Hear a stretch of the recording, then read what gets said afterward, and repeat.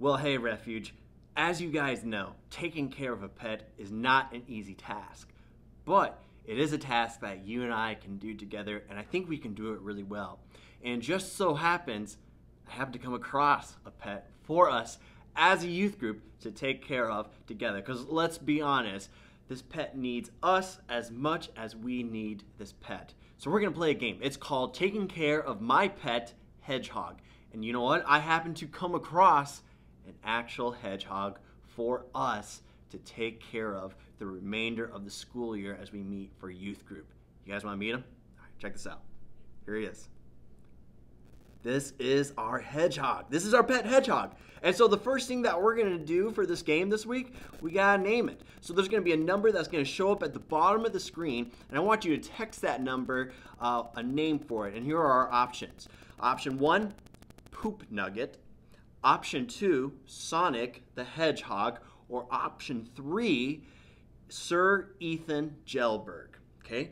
Be sure to text to the number at the bottom of the screen what you want to name this hedgehog. We'll find out next week what his name is. All right, let's let's worship. We're gonna sing "Glorious Day." I was buried beneath my shame.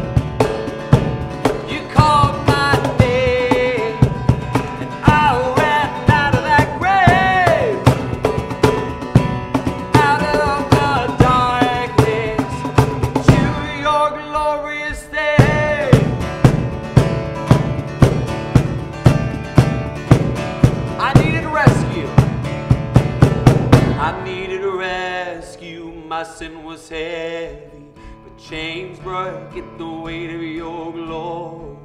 I needed shelter. I was an orphan. Now you call me a citizen of heaven. When I was broken, you were my healing. Your love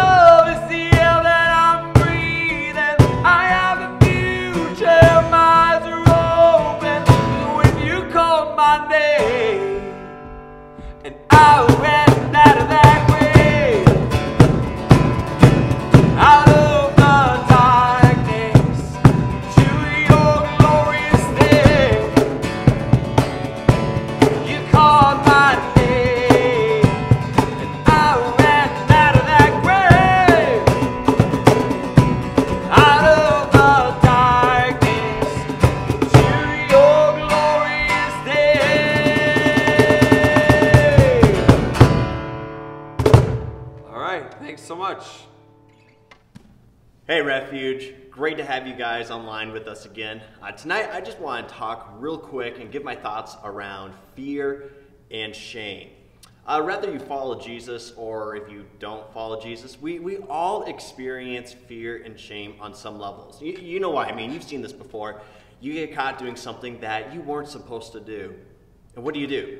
Uh, often, all of our responses, most of our responses would be to probably hide ourselves, to, to hide away from our friends, from our family, maybe from Jesus himself, but we like to hide ourselves becomes, because it becomes a protective measure.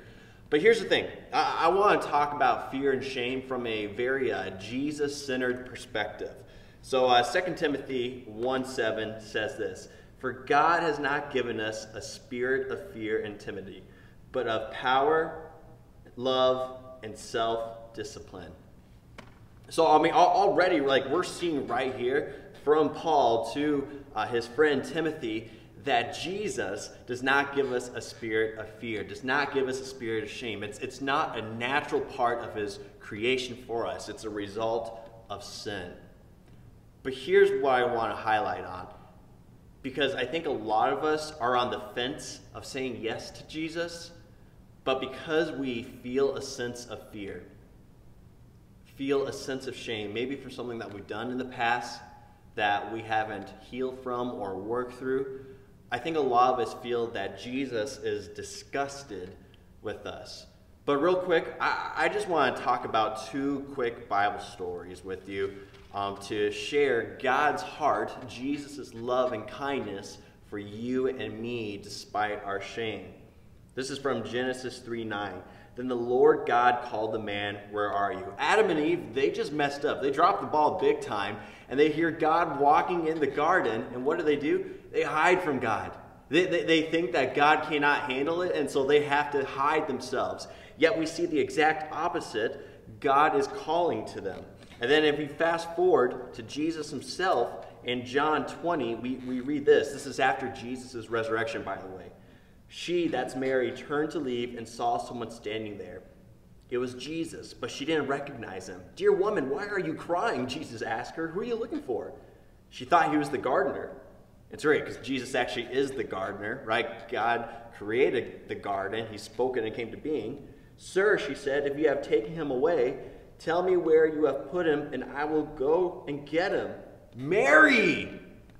Mary, Jesus says. She turned to him and cried, Rabboni, which means teacher in Hebrew. So we have these two stories where shame or fear are at play in these individual characters, and God is in pursuit of them. God is calling them by name. God is calling out to them. He doesn't want them to hide. And so we're seeing, I think, really clearly here that anytime we feel the inclination to hide ourselves, we know it's not from Jesus. I want to take a brief moment here and listen to my friend Carson Anderson and hear his story as he shares my story with you guys. Check this out. What's up, guys? My name is Karsten, and today I would like to share a little bit of my story. So, some of you don't know, but um, my dad is a pastor at Hope Community Church, and so growing up, uh, I went to church every Sunday. We talked about our spiritual lives at home. It was just a great, loving Christian environment as I grew up and there are many positives to that. And but as I went into high school, um, around sophomore and junior year, I just got really busy, you know, sports and focusing on school, and so I kind of put my relationship with Jesus on the back burner, you know, kind of as a second thought kind of thing.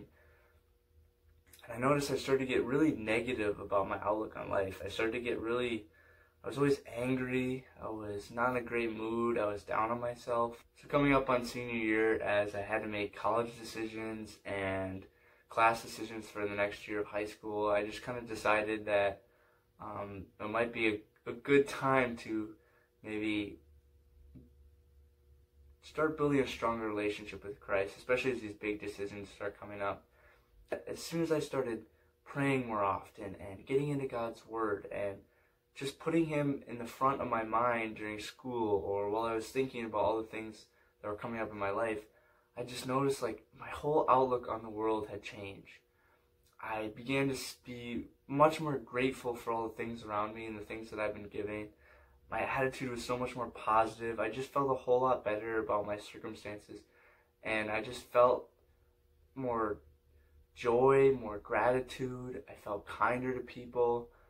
And so, if you can take one thing from what I've learned over the past few years, is that if you're down on yourself, if you're low, if you're not in a great spot, if you turn to Jesus, He paid the sacrifice for your sins.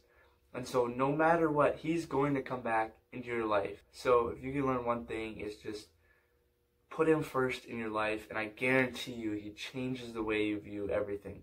Maybe He doesn't change your circumstances, maybe He doesn't change any things that are going on in your life, but I guarantee you, you will find the positives that you have been given, and you will find a joy in Him.